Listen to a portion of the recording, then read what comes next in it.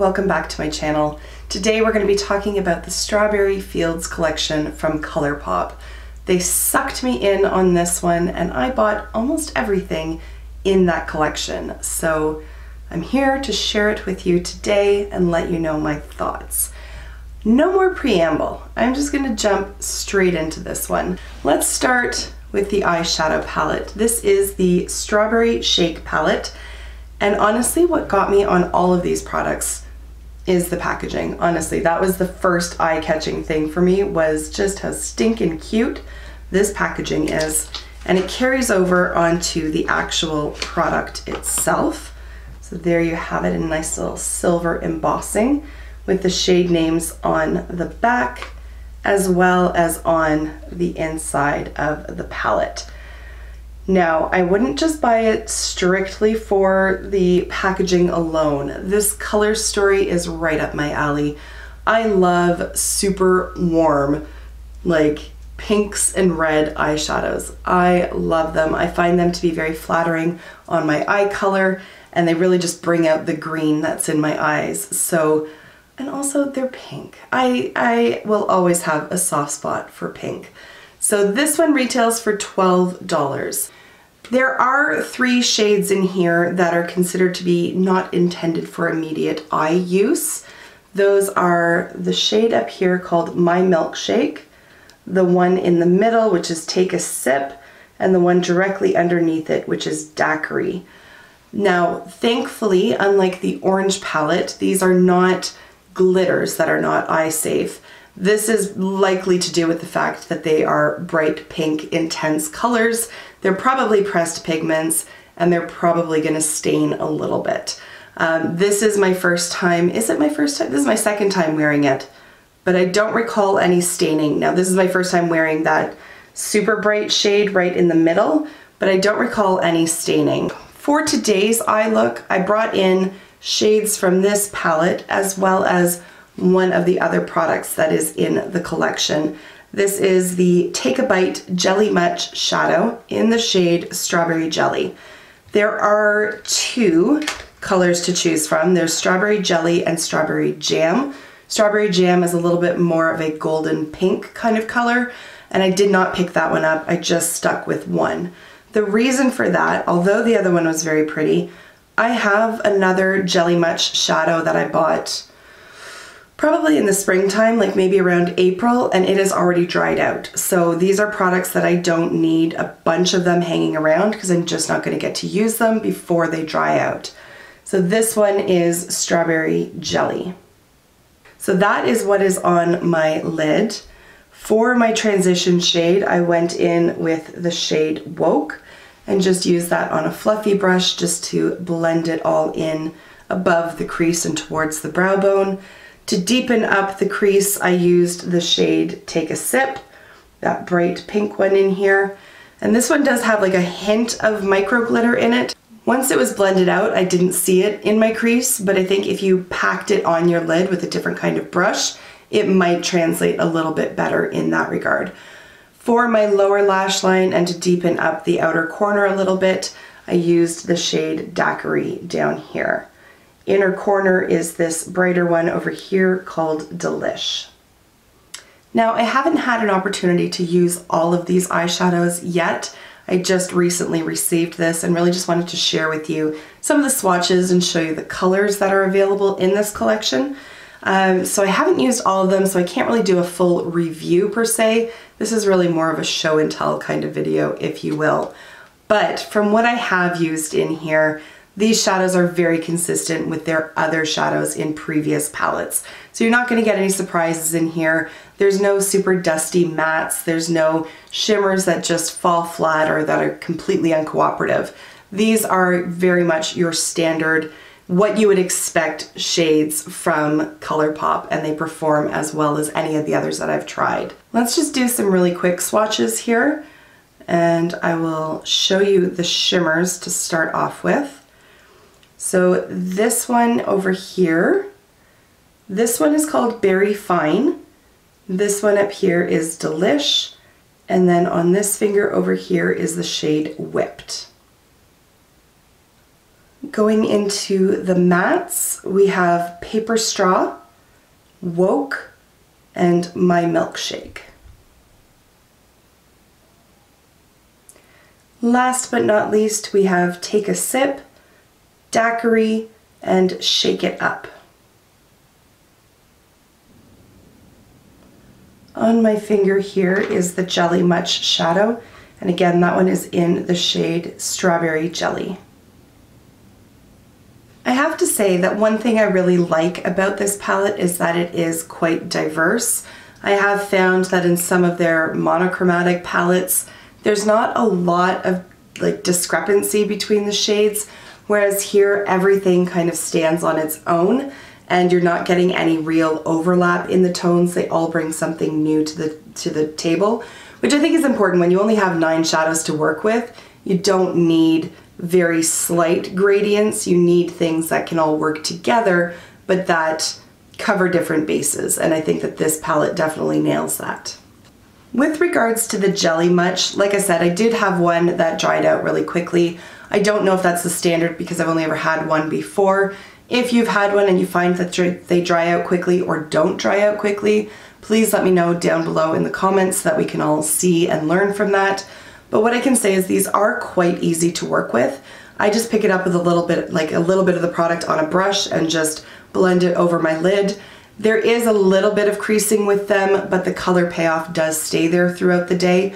So if you use it over a stickier base, that would probably help to prevent the creasing. I just didn't use any sort of primer today because I really wanted to see what it would do without the primer, and there is a little bit of creasing with it. Moving on to cheek products, there are two different kinds in this collection. So one are the pressed powder blushes, and then they also have a blush stick duo. I only bought one of the blushes. There are two available. I picked up the shade Seed You Later. The other one that they had was just a little bit more almost neon pink and it looked a little intimidating to me to be honest. Again, you've got the super cute packaging here. I really am a sucker for all things adorable. And then when you open it up, there is the color in the pan.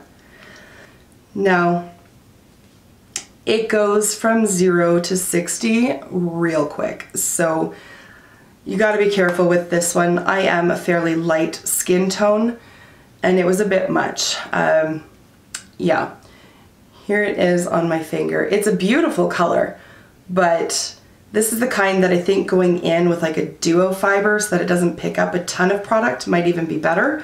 I had to go in with my leftover foundation on my foundation brush and just buff it out on top to try to tone it down a little bit. Luckily that worked, but it was looking pretty dramatic pretty darn quickly. So just be warned and go in with a super light hand with that one. As for the Blush Stick Duo, these are a product that I've been wanting to try for quite some time, but just haven't got around to it. I didn't quite know what to pick. So I was quite happy to see that they had already selected the shades for me here. So it comes with a blush and a highlighter. And I don't know what the shade names are. What are they? The blush is 25.8 and the highlighter or the light stick as they call it is Star Bright. So talk about the blush first. These are really nice, sturdy, retractable products. And then just swatching it, you get quite a bit of color just in one or two little passes. And then they do blend out very nicely. There, there. So this is a much more subtle shade than the powder blush, and I quite like that. Uh, just makes it a little bit more user-friendly to use uh, and less liability. Now, the highlighting stick. This one is pretty darn intense, but my God, is it ever gorgeous. So there it is, obviously there. It is the highlighter that I'm wearing today. And I will say I applied my makeup nine and a half hours ago at this point, and it is still holding up really well. I didn't touch it up at all before I sat down to film this. So that highlight is from nine and a half hours ago and it is just this. I didn't put any powder on top of it. Um, so I am super impressed with these and these are products that I would like to get more of from their line, especially if they have more of like a contouring shade because they're so easy to work with. They're super creamy, blend so easily, and I just, I really, really like them. The Duo is $14. And the powder, if I didn't say, the powder is eight. If you're to buy the entire collection, there is also a skincare set that comes with that, which you can also buy separately for $24. I didn't opt to buy that, but in there you get a lip scrub, a strawberry seed oil, and a strawberry milk.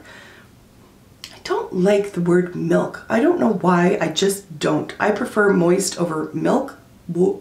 But at any rate, that's not why I didn't buy it. I just, I didn't buy it because I already bought them in the watermelon. So I have the watermelon seed oil and the watermelon milk.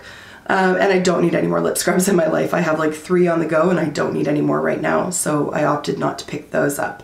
However, I did pick up the two ultra glossy lips that come in the pro in this package collection. So again, super, super adorable packaging. Um, I love that they can commit to a theme. Like I really do appreciate that. It just makes my little heart happy. So this one is in the shade Berry Good and it is what I'm wearing on my lips right now.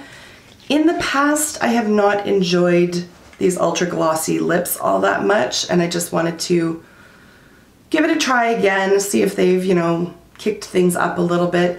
I am quite happy with this one. I'm not wild, honestly, I'm not wild on the brush tip applicator. I just, I much prefer a doe foot. This just, I don't know, somehow, and that just might be the snob in me, but somehow that just looks cheap. What I will say though is that it is nice and sturdy. I do appreciate the length of it. Like if you're gonna put a brush in there, make it nice and squat like that so that it's not like flip-flopping all over the place. You can actually get a lot of precision out of this, so I don't hate it. I just would have preferred a doe foot because I'm just a doe foot kind of person, I guess. Um, so this one I do quite like. The other shade is Easy Bake, and I thought that it was gonna be like a nice, pretty pink with a little tiny bit of shimmer in there. I wouldn't even say that it's like glittery or metallic looking. There's just like a little tiny bit of micro glitter, but it's so sheer that it just doesn't show up to play at all. I'm gonna put it on over on this side of my hand and show you. So there it is there. on my hand you can see like a tiny bit of pink, but once you apply it to the lips it's really just like a clear gloss. So mm, I'm not a huge fan on this one. I'll probably end up giving it to my daughter to be honest, but this is one that I would continue to wear because I do think it's really pretty and I really am enjoying this sort of juicy, wet looking lip thing that's going on right now. I'm, I'm down for that. So these are sort of winners. I like the one shade, don't really like the other.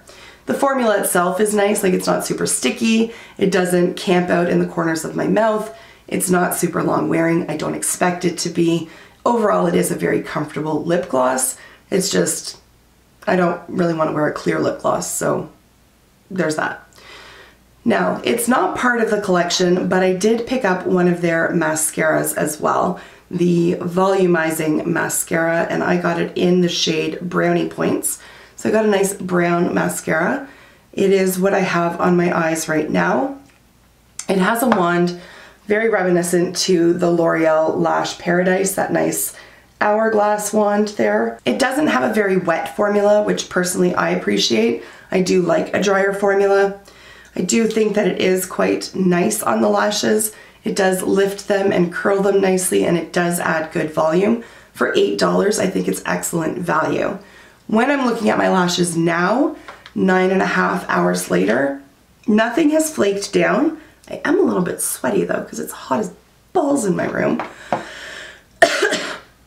Nothing has transferred down.